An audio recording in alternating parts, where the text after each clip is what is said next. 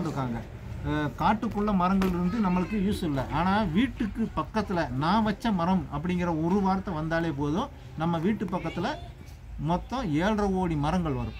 ஏழரை கோடி மரங்களோட ஆக்சிஜன் வெளியே வந்தாலே வந்து அந்த ஓசோன் படலத்தை நம்ம பாதுகாக்கலாம். ஏன்னா இன்னைக்கு இந்த மரம் இருக்க போய் தான் நம்ம இந்த இடத்துல உட்காந்துருக்கோம் இயற்கையான காற்றை வந்து சுவாசிக்கிறோம்.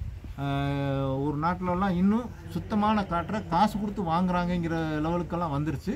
அந்த லெவலுக்கு நம்ம இந்திய நாடு வரக்கூடாது. நம்மளால் முடிஞ்ச ஒரு மரம் நட்டு அதை பெரிய ஆளாக்கிட்டாலே வந்து அந்த மரத்தினால் நாம் வளர்கிற மந்ததிகள் வளர்றதுனால ஒரு மரமாக நட்டுருங்க ஓகே.